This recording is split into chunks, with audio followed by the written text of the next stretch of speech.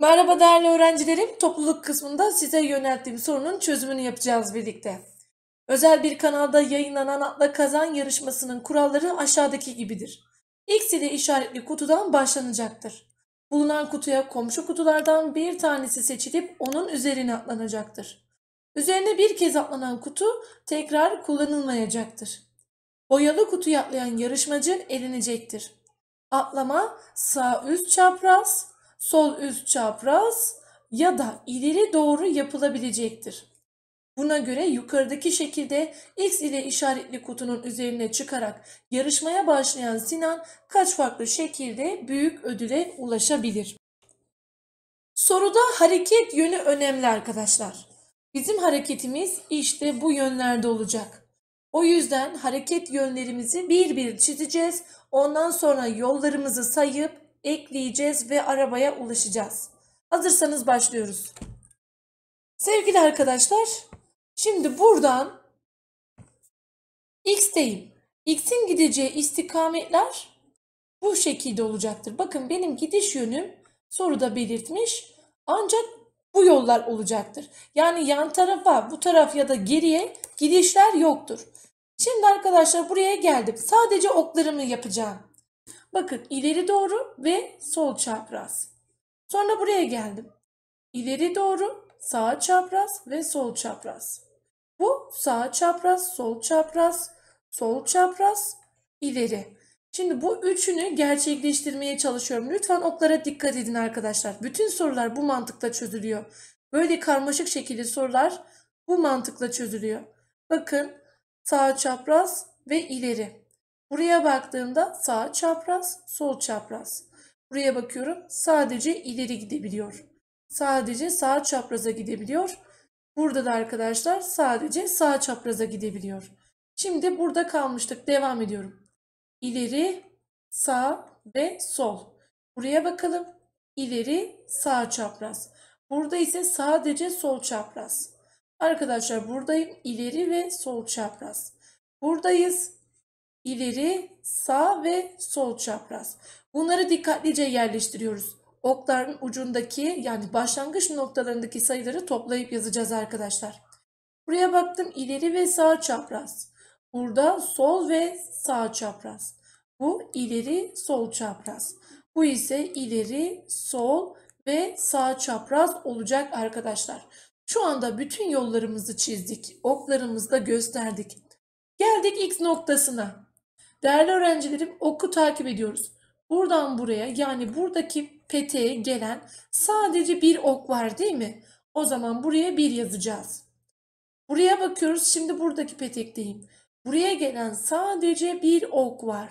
O zaman bir yol diyeceğiz. Yani x'ten buraya bir kere, buradan buraya bir kere gelinebilir. Sevgili arkadaşlar şimdi geldik buraya. Bu oktayız. Bu oktayız ama evet bu ok buradan bir yol getirir. Sonra bakın buraya geldiğimde bir ok burada, bir ok burada. Yani buradaki peteği incelerken 3 tane ok görüyorum. O zaman 3 tane birin toplamı 3 olacaktır. Evet arkadaşlar buradayım. Bakın şu petekteyiz. Bu, bu peteğe gelen 2 tane okumuz var. Uçlarında yazan sayılara bakmanızı istiyorum. 3, 1. 3, 1 daha 4'tür. İşte bu kadar. Geldik buraya arkadaşlar. Bakın buradayım. Bu peteğe gelen sadece bir okumuz var. O zaman bir yoldu. Bir buraya gelecek. Bu peteğe geldim. Bu peteğe gelen sadece bir yolumuz var. Bir yazıyorum. Bu petekteyiz. Buraya gelen sadece bir okumuz var. Bir yazıyorum. Arkadaşlar şimdi bu petekteyiz. Bakın bu peteğe gelen iki tane okumuz var. 1 artı 1'den 2 olacaktır. Hangi bilgileri topladık? Bunları. Şimdi geldik buradaki peteğe. Oradaki peteğe gelen iki tane okumuz var. 1 artı 2, 3 olacaktır. Bu petekteyiz. Bu peteğe gelen bir okumuz var. 3 olacaktır. Buradaki petekteyiz. Bu peteğe gelen sadece bir ok var. Orada 3'tü. 3 yol buraya gelecek arkadaşlar. Şimdi geldik aşağıya. Değerli öğrencilerim dikkatlice izlemenizi istiyorum. Bakın şimdi geldik bu petekteyim. Bu peteğe gelen 1, 2, 3 tane okum var. 1, 1, 3'ü topluyorum. Burada 5 durum söz konusu. Sevgili arkadaşlar buradaki petekteyim. Bakın bu peteğe geldim. Bu peteğe gelen 1, 2, 3 tane ok var. 5, 3, 4 daha 12 olacaktır. Evet arkadaşlarım buradaki petekteyim. Bu peteğe gelen 2 tane okumuz var. 5 artı 12'den 17 olacaktır. Buradaki petekteyiz. Bu peteğe gelen 2 tane okumuz var. 17 artı 12'den 29 olacaktır. Amacımız arabaya ulaşmak. Devam ediyorum. Bu petekteyiz arkadaşlar. Ama bu peteğe gelmeden önce şurayı bulmam lazım. Bakın bu petekteyim.